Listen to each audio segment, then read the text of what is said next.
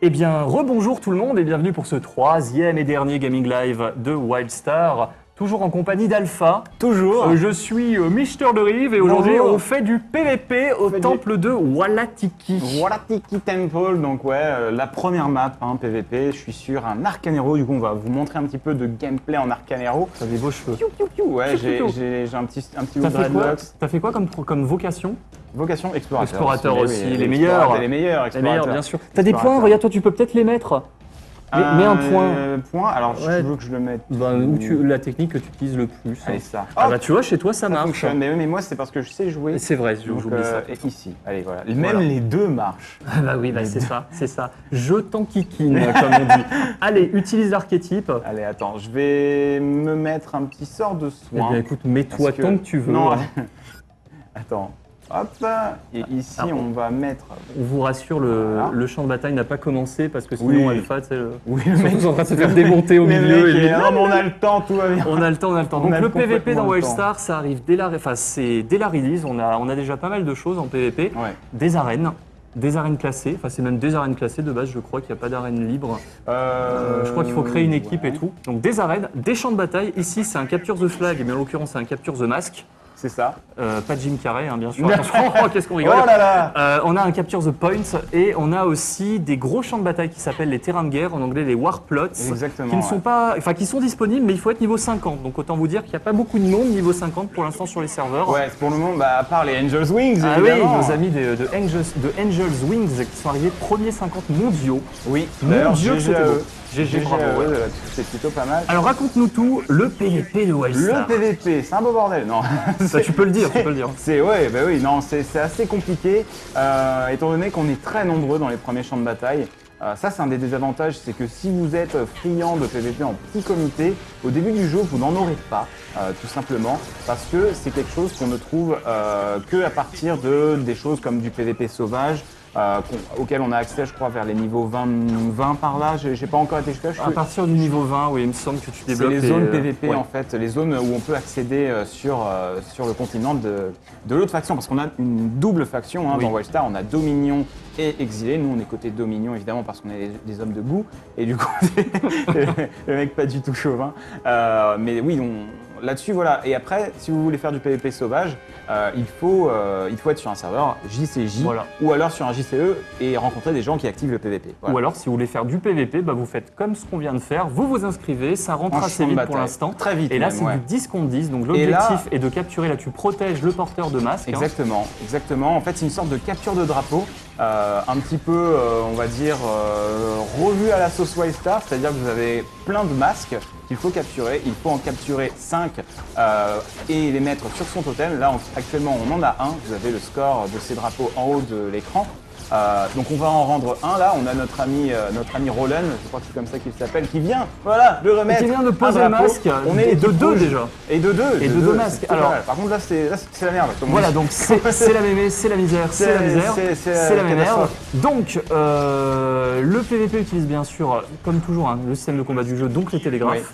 Les télégraphes, c'est un avantage euh, particulier en PVP, c'est que vous voyez à tout moment que vous êtes attaqué, Oui. à distance ou au corps à corps, vous voyez les zones au sol, donc il faut en sortir. Mais le but de l'équipe adverse et surtout des équipes soudées, eh ben, ça va être d'arriver à faire du crowd control, de, de router. Alors on va utiliser pas Ouais, le terme de MMO. Ah, Je suis concentré, je vais me le faire. Vas-y, vas-y, Allez, tu peux te le faire. Ouais. Ah oui, je l'ai eu. voilà. Donc Voilà. d'immobiliser si possible leur cible prioritaire.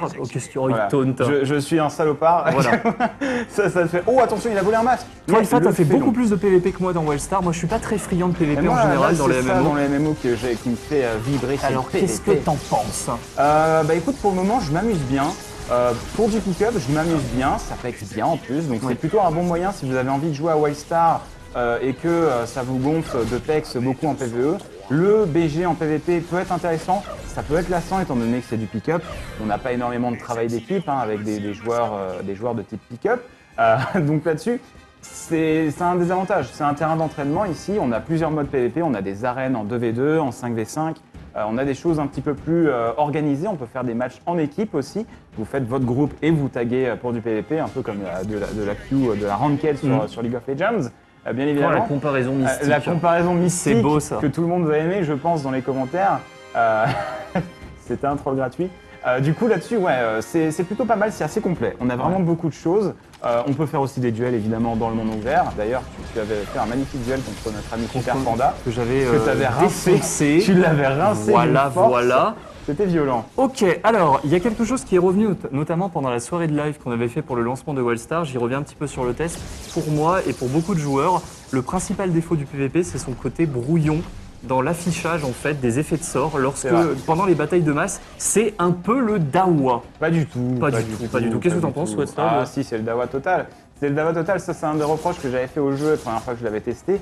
Mais, mais, mais, mais, parce qu'il faut pas oublier mais, mais, que on peut en fait changer tout cet affichage. On peut complètement euh, customiser l'affichage des télégraphes, on peut changer l'opacité des télégraphes, ce qui fait que votre écran, dans un premier temps, si vous ne touchez pas du tout à l'interface, sera complètement submergé. Comme mais ici, après, quoi. comme ici exactement. Là encore ça va. Ah, ça va, mais dès que t'as les, mais là, voilà, les dégâts qui là, apparaissent, voilà.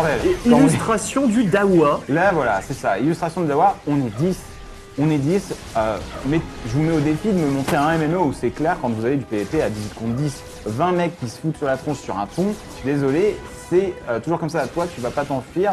Voilà. Moi j'en entends déjà parler Ah, un de, World of Warcraft dans les commentaires et des, des Battlegrounds Des Battlegrounds. dire euh, ouais mais euh, le Et les- bassin, le, et les le- poteaux. le bassin d'Arati c'était super clair et pourtant c'était des grosses batailles de masse. C'est Mhm. pas faux d'un côté, c'est vrai que c'est l'affichage est peut-être clair. Mais Mais comme après, c'est pas du tout le même gameplay. c'est ça, il n'y a pas de télégraphe d'en haut, donc forcément là ils partent avec ça. Ça marche bien, moi je trouve qu'on s'y amuse comme tu dis en, en PvP. Ah ouais, ouais, complètement. On s'y amuse ouais. bien. Et c'est encore une fois, ça vient s'ajouter à la masse de contenu qu'il y a à faire parce qu'entre entre deux quêtes, vous pouvez partir en PvP très simplement. Oui. Quand tu as fini ton BG, tu retournes à l'endroit où tu étais en plus. Oui, tu retournes Donc, exactement euh, où tu c'est- étais, tu peux retag instant. Vraiment, si vous voulez pexer sur Wildstar et que le PVE vous gonfle, c'est possible. Moi, c'est mon cas, je sais. Euh, En général, quand je me fais une petite soirée sur Wildstar, ben, je fais trois quarts de BG et un quart de quête. Euh, c'est complètement possible, vous gagnez Ce beaucoup serait d'XP. Toi, c'est l'inverse, Ouais. Mais c'est ça qui est bien avec euh, Wildstar. Enfin, on va vraiment penser que Carbine nous enfile un chèque, mais bon, c'est ce qu'on pense. C'est que le jeu vous permet, euh, permet vraiment à tout type de joueurs de s'amuser. Il Ils ont pensé à tous les types de joueurs, aussi bien les joueurs PVE, PVP, RP, parce que aussi en RP, on peut s'y Ouais, il y a des serveurs FP en plus. Hmm. Il y en a un en France, euh, français, je crois. Et tu vois, tu parles de tout type de joueurs. Je me permets de te couper parce qu'on n'en a pas beaucoup parlé pendant CGL. C'est les raids. Les raids à Mhm. Oui, les Shell, raids, oui. euh, des raids qui reviennent en force dans Wildstar, des raids à 20 et surtout des raids à 40. Euh, ça existe encore des raids à 40, ça a été abandonné par la plupart des gros MMO parce que c'était compliqué, parce Ouais. que réunir 40 personnes, c'est ouin ouin ouin, c'est difficile, parce que c'est le bordel. Euh, là, je te cache pas aussi que j'ai des doutes quant à la lisibilité des raids 40 vis-à-vis Ouais, de l'interface. ouais, Mais- j'ai hâte de voir. Je mais pense au moins- falloir cacher les télégraphes Oui, de je ces pense. Et- Mais au moins ils existent et ils, ont, ils sont, comme le disent les, les développeurs, hardcore parce que à ce qu'on en a vu, ça a l'air très Oui, compliqué. encore. Euh, pas de pick-up, pas de stratégie euh, lolilol, on fonce dans le tas. Ça va être destiné aux grosses structures, aux grosses guildes qui ont envie de jouer ensemble à 40 tous les soirs sur du contenu euh, riche, parce qu'il y a déjà deux gros raids 40 et ça va euh, s'améliorer euh, au fil des, des prochains patchs. Ouais, je suis là-dessus, je, suis- je, je ne peux que Tu- tu euh, plus d'accord. Tu as un autre truc à rajouter, euh, Alpha, sur le, PV, le PVP, parce qu'on pourrait aussi parler très rapidement du système de cred.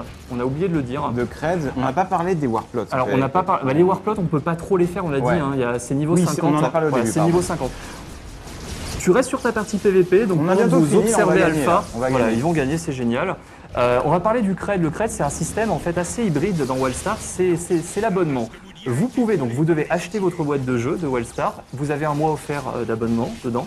Si vous souhaitez continuer à jouer, il faudra repayer un abonnement ou alors acheter en jeu via une interface particulière un objet qui s'appelle le CRED, le certificat de recherche et de, développe- de développement et de destruction. J'ai appris le nom par cœur. Tellement professionnel. Tellement professionnel. Génie de C'est un objet en fait que des joueurs comme toi et moi peuvent acheter sur le site de Carbine, mettre en vente en jeu, Ouais. donc contre des- de l'argent virtuel, c'est-à-dire que par exemple tu as envie de t'acheter une monture mais tu pas de fric. Tu vas acheter un cred sur le site contre de- des euros, tu le vends, GG. GG. Tu le Ouais. vends, tu le vends par exemple, je sais pas, deux pièces de platine en jeu, donc euh, 200 pièces d'or si tu veux. Et un joueur va te l'acheter, 200 pièces d'or. Lui, il va se, donc se payer avec ce cred un mois d'abonnement en jeu, en farmant. Et toi, tu vas récupérer deux platines et t'acheter ta monture. Donc c'est donnant-donnant. Ouais. Et ça dépend parce que le cred fonctionne sur le principe de, le- les principes de l'offre et de la demande. Euh, donc euh, ça se trouve, les prix vont s'envoler. Ça se trouve, Mhm. ce sera 50 platines le cred. Personne pourra se les acheter. Euh, à voir si Carbine arrive à justement avoir un petit peu la main dessus. Pour l'instant, en tout cas, c'est pas disponible en jeu, on n'en sait pas trop. Il y a des creds qui apparaissent à un platine, mais on peut pas les acheter. Ouais, donc, euh, ouais, ouais. Voilà. Bref, Ça si va vous jouez, évoluer. La si bourse, euh, c'est ça qui est intéressant aussi. Avec, euh, J'aime bien, j'aime bien ça. Un petit peu comme cours, dans euh, Guild Wars aussi. Voilà, le cours de la bourse, le cours du gold dans Guild Wars, c'était sympa. Euh, là, tu vois, à la fin des BG, on a le, euh, le Kikimeter, comme on, comme on l'appelle. hein. On a tous les classements en dégâts, en soins.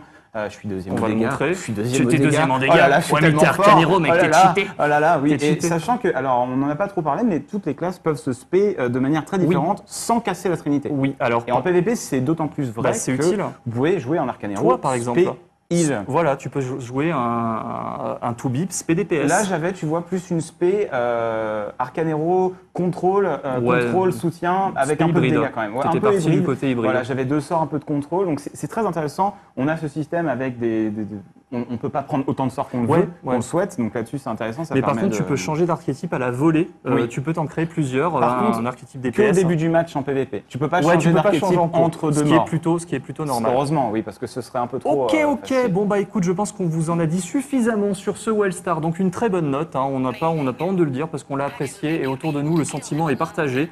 euh, que ce soit de joueurs qui venaient de tout, de tous les univers. Au final, on est deux joueurs totalement différents et nous on l'apprécie. Il y a des gens qui venaient de euh, WoW, qui a bien sûr, bah c'est sûr, ils sont peut-être plus clients de ça, donc qui adorent Wildstar. Mhm. Moi j'ai des gens qui venaient de Guild Wars, soit tu venais de Guild Wars, Ouais, qui, voilà. qui adorent Wildstar. On a des gens qui jouaient à Heavenline. Moi de mon côté, j'avais des gros joueurs de Edge of Conan, j'avais des joueurs. Alors j'ai des joueurs aussi de qui sont Hello Kitty de Online. Hello Kitty Online, de Oui Oui Online, Oui. hein, qui adorent euh, Wildstar. Donc euh, une très bonne pioche, hein, euh, ce MMO. Ouais. Euh, on a hâte de voir ce qu'il va donner par la suite, parce que bien sûr le test n'est pas définitif. Oui, ça évolue. Le test va être Mm. évolutif en fonction des mises à jour de ce MMO. En tout cas, Alpha, je te remercie, alors qu'il est en train de danser la danse se de la victoire. une petite danse Attention, on vous la montre. Yop, yop, yop, yolololo, stache, stache.